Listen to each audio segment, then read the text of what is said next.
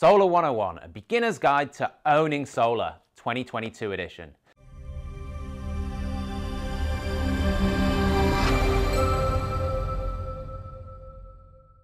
This third and final part of my Solar 101 video series brings us to this. Your solar system is now installed on your roof. Yes! What next? My advice is to bookmark this video so you can refer to it over the years and keep your system in tip-top shape. Let's get to it. Point one, your installer has finished up and waved goodbye. What now? It's the end of the day and the installers have tidied up, packed up their things and left. What can you do right now to check the install? Here are the major things you can check on your installation with a quick walk around your property. Firstly, on your wall. Your solar inverter. Is it mounted in a location that doesn't get direct sunlight?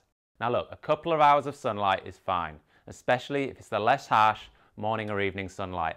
But if the solar inverter is in the sun for most of the day, ask your installer to put a simple shade over it. DC and AC isolators. Does the conduit enter the isolators from the top or the bottom of the isolator? If the conduit enters from the top, you'll need to get your installer to come back and fix them. Exterior isolators that have top entry are asking to get water in them. Interior mounted isolators are more of a grey area, but it's still possible for condensation to form and enter them. So bottom entry is what you want regardless. Hmm, sounds a bit rude. For the cabling around the inverters, does the cabling look tight and tidy? Loose wiring is asking to get snagged on something as people walk by and it looks shithouse. Up on your roof. Assuming you can see your installation from your yard and without having to risk life and limb climbing up on the roof, is there any exposed flexible conduit running across the roof between solar panel arrays? I hate seeing this. The sun will degrade the exposed flexible conduit over time and open you up to all sorts of issues. Are the solar panels aligned? If they can't get the solar panel straight and there's no good reason for it, like avoiding a stink pipe, I'll bet other things aren't right with the installation either. Is the railing trimmed at the edges or is it sticking out like Pinocchio's nose? How close are the panels to the edge of your roof? They need to be about 150 millimeters from the edges in most cases. It can be hard to tell from the ground, but if they're actually overhanging your gutter, then you've got a problem. Do the clamping zones, where the panels attached to the rail, look right? This is another one that's hard to tell from the ground, but if your panels resemble a diving board, you've got a problem.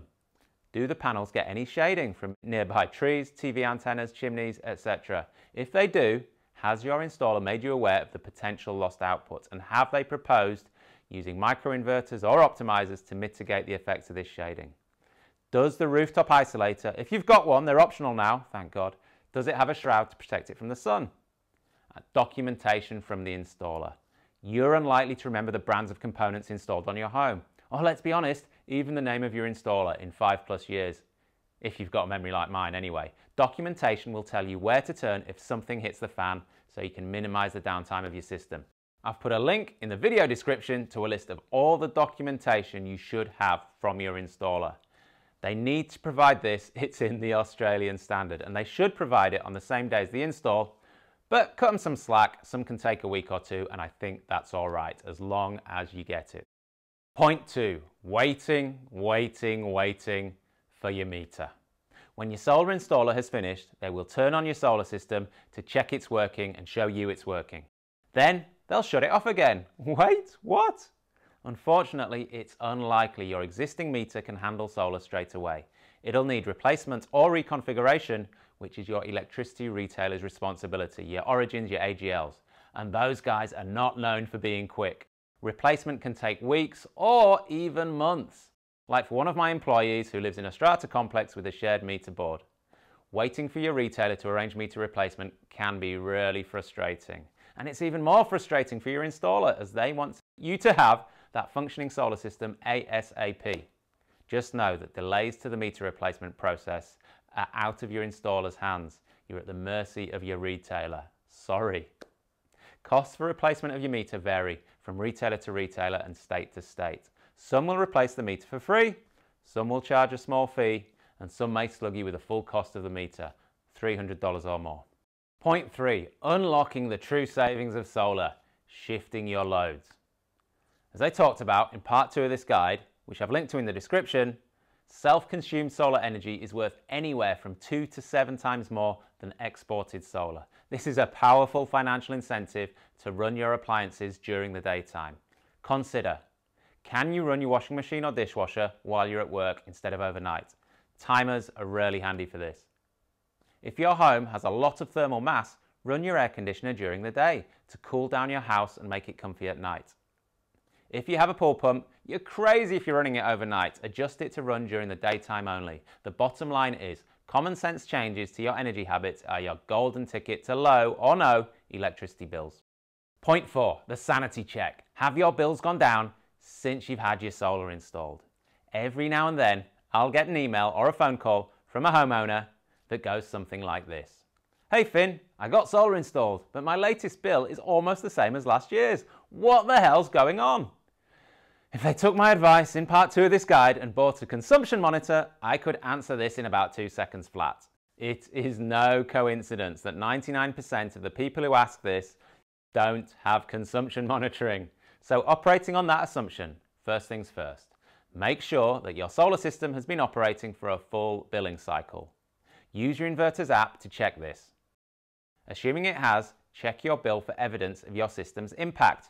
You'll be looking for solar exports. Look for a CR on your bill and a reduction in grid usage. Solar exports will show up as a credit on your bill called a feed-in tariff and look something like this. Your reduction in usage, thanks to solar, will look something like this. If you've had a full billing cycle and can't see any solar feed-in credits, call your energy company. One of my friend's parents had solar for years and didn't realize their plan had no feed-in tariff. If you do have credits and your usage hasn't changed much or has even gone up, you're likely using more energy at night than you used to. Or it could be that it's winter and your system hasn't been generating much energy and you've been using lots of heating. The bottom line is, if you're unimpressed with your first post-solar bill, give your installer a ring. They should be happy to sit down with you and explain what you can do to get electricity costs down further. Point five, monitoring your system performance. Focus on energy, kilowatt hours, not power, kilowatts, please. Another email I get all the time goes something like this. Hey Finn, I had a 6.6 kilowatt solar system installed three months ago. After monitoring it daily, I've noticed the system is underperforming.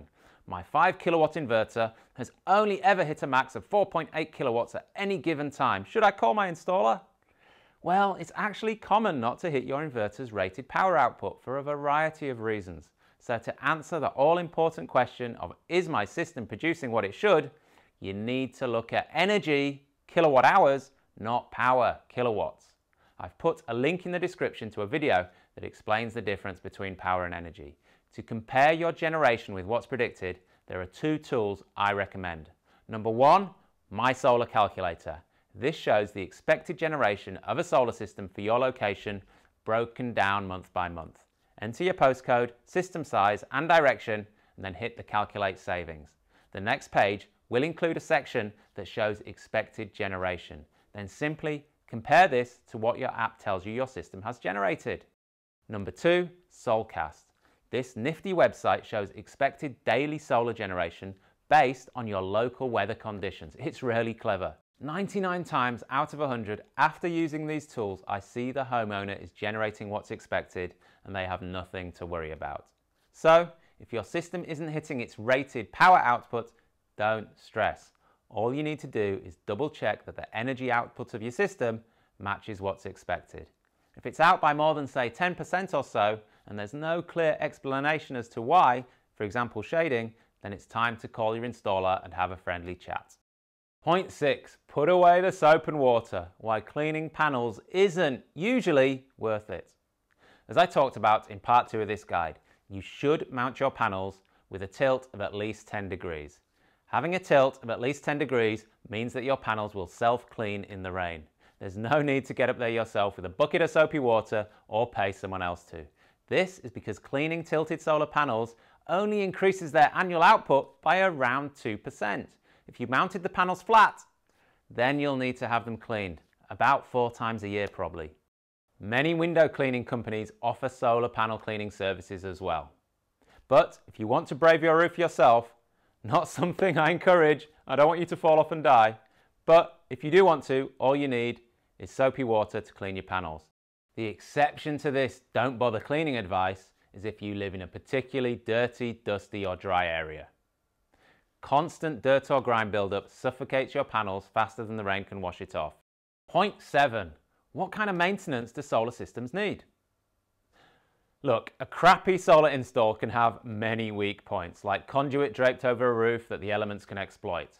But even the best installation is still exposed to the elements. This is why a CEC accredited professional should inspect your system every five years. It's best if your original installer is the one who does this. If they're no longer around, you can use the tool I've linked to in the description to find a CEC accredited installer in your area. In some states, SA-VIC and the ACT, your network operator mandates that your system gets tested every five years.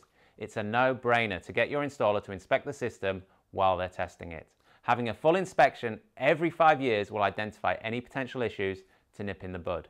It will also give you the peace of mind that your system will continue to operate for years to come, giving you those lovely tiny or zero bills. Point eight, beyond solar, things to consider. A while ago, I surveyed my customers to find their main motivation for going solar. To no one's surprise, most people are in it for the money, for the savings. But many also had a strong desire to reduce their carbon footprint. They saw solar power as an easy way to reduce their bills and decrease their footprint in one go. Solar can make a huge impact on your electricity bills, but it should only be part of your energy efficiency and thus low electricity bill journey. Some other things to think about in the future are home energy efficiency, gaps, glazing, insulation. These are the big three things that can make your home more comfortable to live in. And a nice bonus is they will also lower your bills by reducing the amount of energy needed to run your home. I've put a link in the description to an article I wrote about home energy efficiency measures you can take. Battery storage. Despite the hype, batteries do not generally pay for themselves at current prices. Government rebates and virtual power plant VPP subsidies can help, but not enough in most cases. My advice is to wait a few more years for prices to come down as it's easy to retrofit a battery at a later date. When batteries do make sense, I'll be the first person to shout it from the rooftops. Electric cars. Petrol costs are major expenses for many households. This means you should put some serious thought into getting rid of them by going all electric. We're on the cusp of an electric vehicle revolution. My advice, avoid buying a new petrol car if your current car still has a few years left in it. If you absolutely have to buy a new car that burns fuel, consider a guaranteed value deal. Then, if petrol and diesel cars plummet in value in four to five years, as many experts predict, the car company takes the hit, not you. Also, think about whether you have enough solar to charge an electric car and a battery as well as power your home. So that's that, my complete guide to owning solar. I hope you found it useful. If you have any questions, my email address is finnpeacock at solarquotes.com.au. And if you happen to be watching this video but still don't own a solar system, you can use my website, solarquotes.com.au, to get up to three quotes for solar from installers that I've personally vetted and trust. Thank you for watching.